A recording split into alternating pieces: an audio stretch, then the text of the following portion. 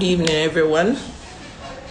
Before I start talking, if you're a Christian, please pray with me. Our Heavenly Father, I thank you for this day. I thank you for this Monday. I thank you because you've kept me alive up to this day. Lord God Almighty, I'm going to speak to the world. I say the world because there are many that are lurking and watching.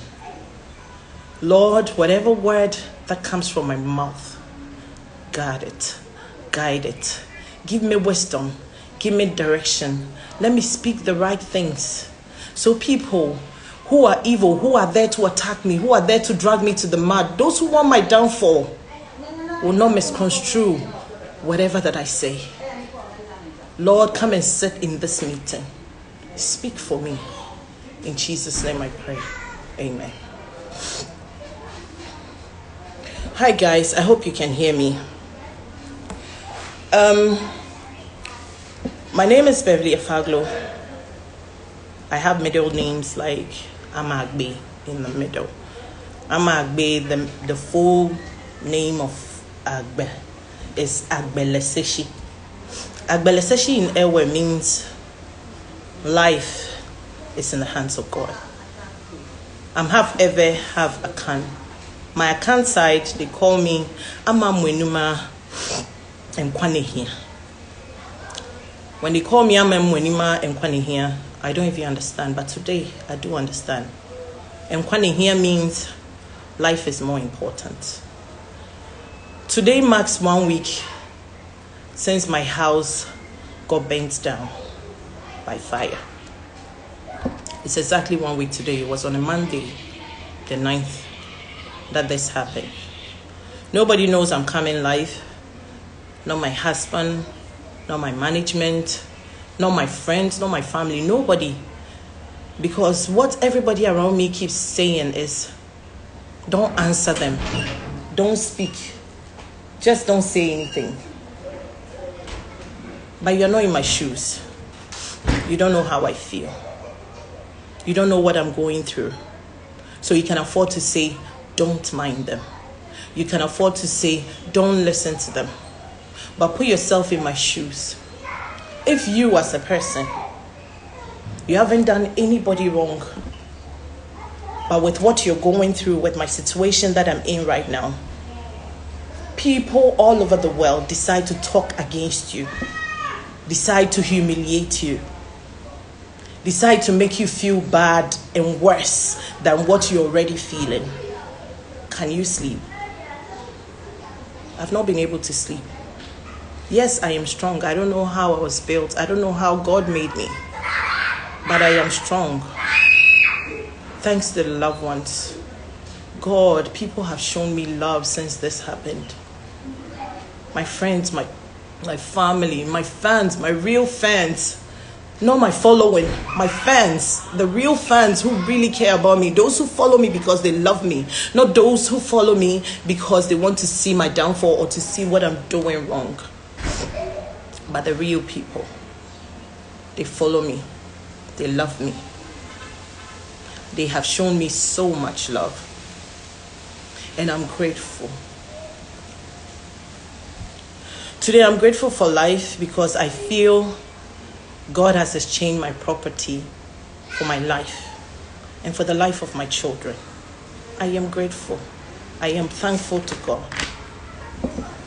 My kids and I slept on the 9th of August with no clothes, no shelter, basically.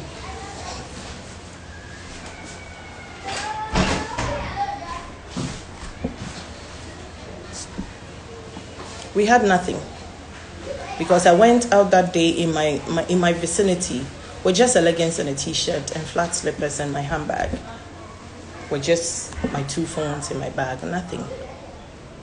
But God saved us. That's all I can say. I lost everything. My siblings have been supportive, friends, fans, as I keep saying. By the next day, people were knocking at my door, people were calling me. My management numbers are on my bio. People were continuously calling my management that how can they help? How can they support? What is going on? What is going on? Then Yvonne Nelson said, I want to open a GoFundMe for you. What do you think? I suggested it. I mean, I told my management that this is what Yvonne is saying. Then management said, why not? people have been calling, they want means of supporting. So if there's something like GoFundMe, let's go for it. I told my husband, my husband was against it because he's a showbiz personality as well and he knows how evil the internet is. But we went against him and went ahead to do the GoFundMe, thinking that the love that I was receiving was going to be the same love that I was receiving or I was going to receive. But it turned around to hate. The moment Yvonne posted the pictures of the GoFundMe and all information, hate and trolls started coming in from every corner. Then a video came up. Let me backtrack to that video. Please, I am not mad. I won't wake up and start ranting or saying I have this and that and that. I am not crazy. I will never do that. So we are ba. If you're human, if you think, if you're matured enough, you should listen to that video. And you should think that what pushed me to say this? At the time that I made that video, there were stories going around after I, I granted an interview on radio. The presenter asked me about a rumor that he said he has heard. By the time I left the studio the next day, there were stories around the question he asked. And the question was, or the rumor at the time was that I've been going to London back and forth lately, that I have a man in London that has been buying my ticket and I've been visiting him. I got upset. I got upset that why would you even think that I have a man aside my husband? Secondly, why would you even think that a man has to buy me a ticket before I can go for my vacations? Then I went mad and I recorded the video that I did. I told the world that I'm not broke. I never ever use the word rich. I never. Go back and play that video. I never used the word rich.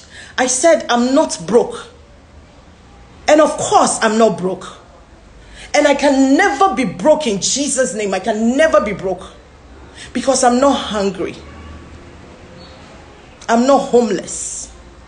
I am not broke. I work hard for my money. God knows I work hard for my money. Then in that video, I went on to say that if I don't even work, or you think you don't see me on TV, or you think I'm not even selling the products that I sell, I have an inheritance. I have an inheritance that I take my rent from. I didn't lie. I don't fake. Yes, I have tenants that I take rent from. I didn't lie. But as I said, I said I'm not broke, and I'll still say it that yes, I'm not broke. By the special grace of God, I am not broke. I work hard. My husband is supportive, he works as well. We work hard to get our money. I have an inheritance that I take tenants, tenancy from. Now, after saying this, and after everything that happened with my plight, my misfortune, They've brought videos up, captioned it that this rich person, why are you going to support her? She said she is rich. She said she is rich. And I'll say it again. I never use the word rich. And yes, I have tenants. Should I go and evict them today just because I'm homeless? If you were my tenant, will you be happy? Even the law gives tenancy three months before eviction. So it will take time. Even if it's true that you claim I said I'm rich, how many rich people have money sitting in their accounts doing nothing? Money is in the accounts doing nothing. They do investments, they do business. So when something this grave, the gravity of what has happened to me happened to even a rich man, it will shake the person. Because investments don't grow in a day. And you cannot pull out your investment in one night. Sebi sebi otumfoɔ koraa yɛkyɛ n'ade. Sebi sebi o. The Asante Kingdom the king of Ashanti. They give him gifts. Or with skull, or with scapa. Sebi sebi oso numpo ana sikeni bi mpo na ade ato na. Sikeni bi na asem ato na. Bobeka atwere so with scanty yenja no nwu ana. What did I do to people? What did I do to people? People are talking as if I just woke up one day and I said my house is bent and you are talking as if the house is a room. It is not a room that is bent, it's my whole house. From bedrooms to living room to kids' room to storage room to my kitchen. Everything has gone down. Then I ask myself, where do I start from? When am I buying an iron? When am I buying television? When am I buying AC? When am I buying microwave? Toaster? Blender? Chairs in the living room? A bed? A fridge? A freezer? Washing machine? Where do I start from? Even if I have money to afford rent, I have to start putting in things. It will take time. But it doesn't really matter.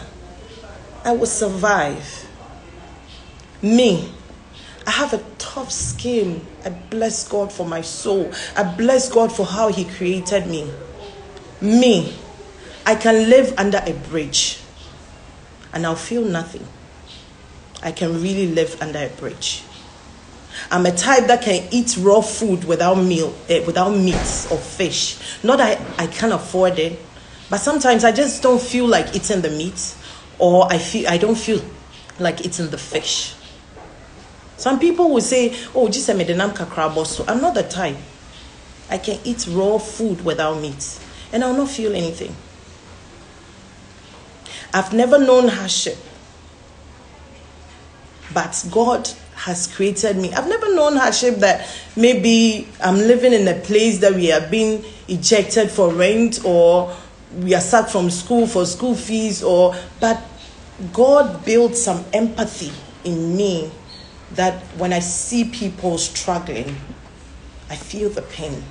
So because of that, it makes me strong every time because life is nothing. Then again I say I can I can actually sleep even under a bridge if I have to. But my children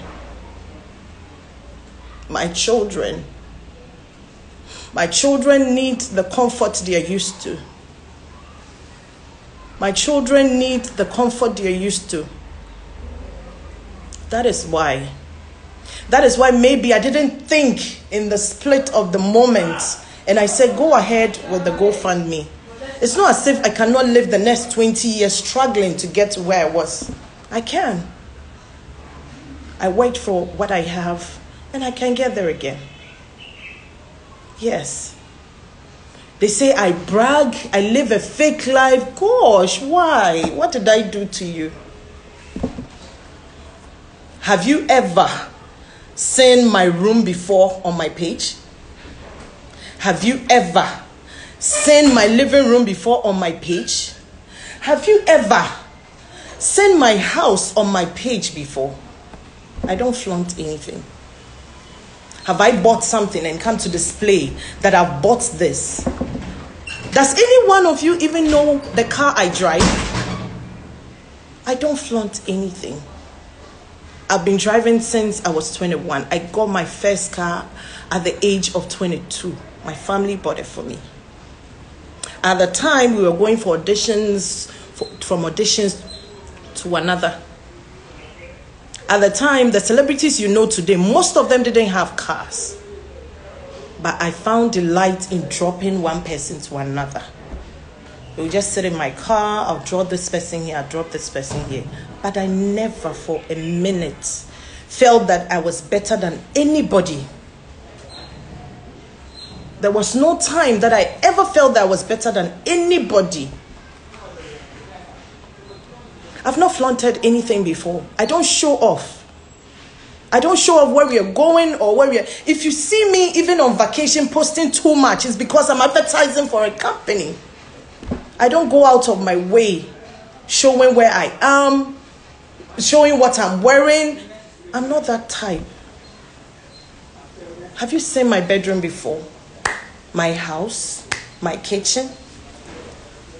Then people keep on insulting me, insulting me, I'm this and that. They went to the extent of even saying that the house is not my house, it's a family house.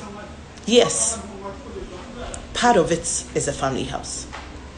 I was born in that house. Some people even say it's not my family house. Part of it is my family house. I was born in that house. 28th May 1983. I've never lied about my age and I'll not do that today. 1983, I was born in that very house, Community 9 in Tema. I got married and I got out of that house from my single room. Yes, I'm entitled to just a room and a toilet in my family house. I never rented, I never stayed with any man. I married from home and I went out. Eight years down the line, we decided to come back home because renting a three bedroom house in any part of Ghana is not cheap. So I suggested to my husband that my mother has a land. So we can build something and manage it till we build our own dream house. I didn't pack my children, my house help, and myself from my three bedroom house to my single room that I left behind. We built.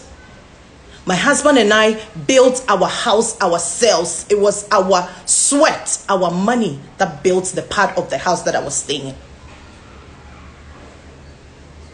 The pattern looks the same because you cannot come to an old house and start building a story building by the side just because you're building a new house. I have to follow the plan and do exactly as how the house looks like. For me to just get my space. I built it to continue. So looking at that house like that, obviously you think it's a full house like that, but they are apartments. My house is gone. My shoe rack alone is eight feet high and how many width? But I've never showed up before. I cannot count the things I've lost. I cannot count the number of suitcases of even what my husband married me with, the cloth and everything. And people sit down on TV stations, radio stations, fake blogs, and insult me, insult my family with what we are going through. We are traumatized. We are traumatized. My mother's property, that is a nine bedroom house with a living room, toilet, and bathrooms in five of the rooms there with a kitchen, everything is down to zero. You don't sympathize with us.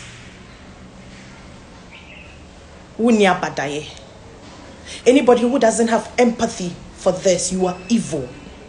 You are not human. Unia Badayekra said, The woman who is 78 years old, the lifetime memories is all gone her lifetime memories. It's all gone. I built my house and moved in just a year ago, just last year, early last year. I bought my block, I bought my cement, I bought my paint, I bought my t- I did my tiling, I did my electricals, I did carpentry, I did plumbing, I bought my sink, I bought my toilets. I, I, I fixed my kitchen, I fixed my kitchen cabinets. So what didn't I build? My sin was building on my fa- on my mother's land. That is the sin that my husband and I did. Because we built on my mother's land. That people has, have to insult us, degrade us to nothing. adɛn dɛn na mayɛ magye wo boy. Magye wo kum mayɛ wo maame mede aduro bi ato so magye wo adwuma dɛn na mayɛ if i've done anybody wrong please forgive me. Let us have a quiet life. We are going through a lot. Leave my name alone. Some blogs some websites even went to the extent of dragging my family into it. My extended family calling them names, saying what they don't know, and creating stories. Then on my own. Me na me pe. And I'm saying celebrity na me da ho. Na mo de me ato chop so. But then na mo de me family eh, a bim. What have they done to you? What has my family done to you? And then to me new. And it can happen to anybody. Fire took the whole house. Took the whole house.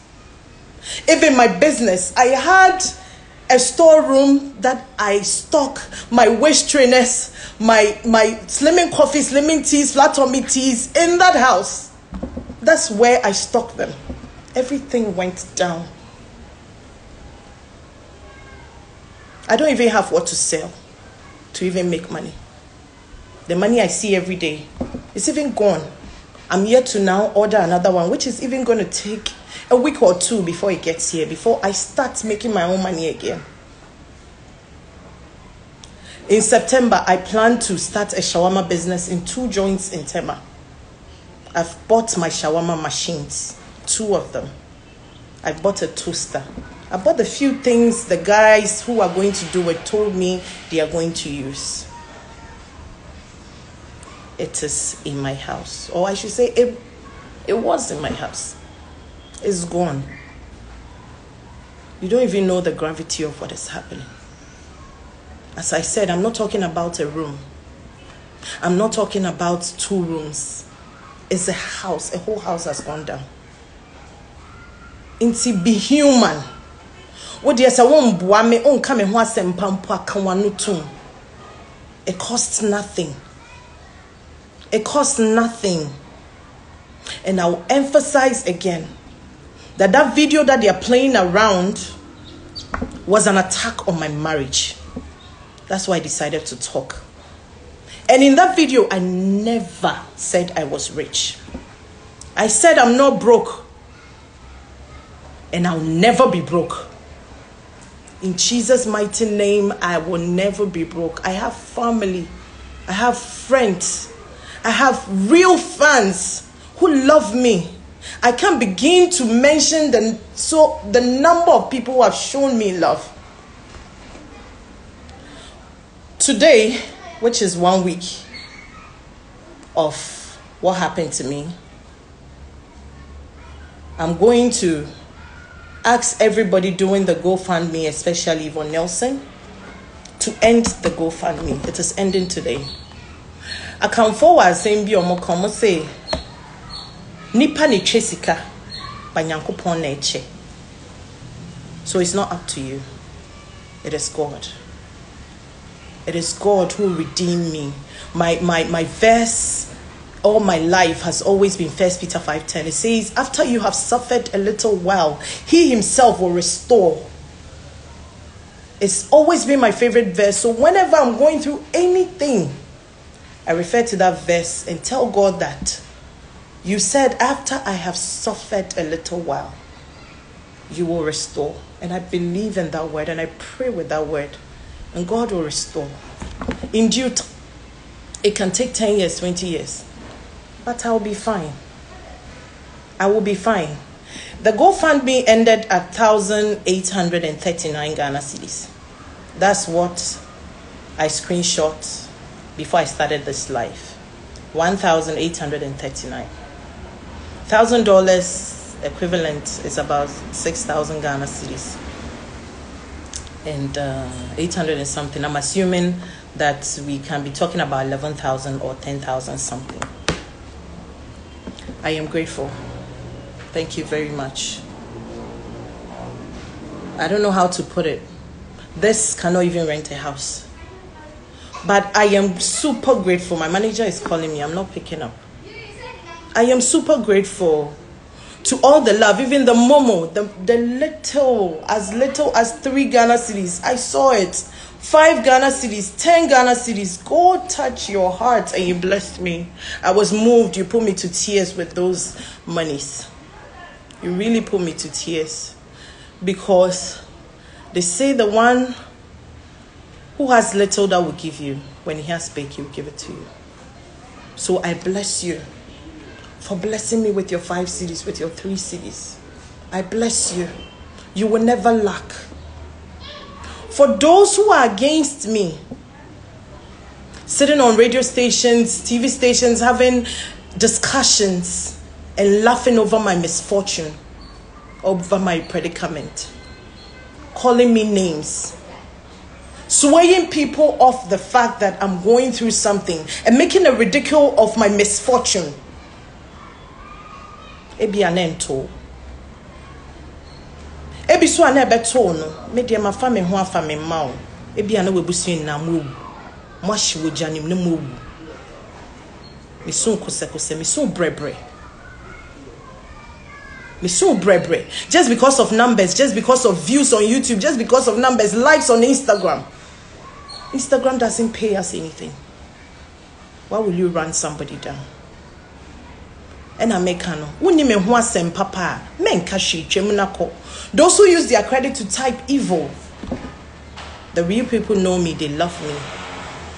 If you follow my life, if you really know me, you follow my life, even on Instagram, keke you will know how I live. That I'm a simple person. You will not listen to what people are saying. You will not listen to what they are dissecting me and discussing me that I've given them content for their programs. God should forgive them. Because they're two or more. Ebi ano mo amfo mo ho ene omo ma seme de. Ebi ano mo eja ahye omo na omo ewu. Ebi ano mo ebusi omo beda ne omo kwa no mo busi ewu ebia na ɔmo mma ɔmo family nya third degree bends now the person is scarred for life. Nyinaa na mehwɛ a na mede awurade ase sɛ i thank god for my life. So nothing can change the blessings that god has given me. Life goes on from today. It's been a week. God has been good. People have blessed me with clothes. Today i wore a white dress to celebrate. It's victory for me. I have had clothes. People have sent me clothes, shoes. I am grateful. Thank you guys. You might see me in town dressed up, wearing a wig, wearing the makeup. You might even see me at a party dancing. It doesn't mean that all is well, but I've learned to live. That's all. So don't judge me. Don't judge me if you don't know me. I know I'm going to have a problem with my management, with my husband, with my friends. But this needed to be cleared out.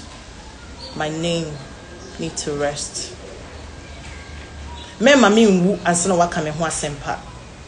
Don't let me die before you say she was like this. Oh, she was like this. Oh, she was like that. When I'm alive, let me experience your love. If you don't love me, I bet you don't know me. Because nobody has come into contact with me that doesn't love me, I promise you. Whether even on Instagram, in our DMs, wherever you see me in person, you can't do me wrong because I'm a great person. God knows I'm a good person. I've never wronged anybody, and I'll not change because of what you're doing to me. God bless you for listening. I said I'm going to share testimony for my life. What I'm going to share is that. What I'm going to share is that um, a week before that, a week before, a week before I did um, um, what do you call it? A week before my house got bent. I'm not cutting it. I'm not cutting it. I beg you. I'm not cutting it. I want to finish with this.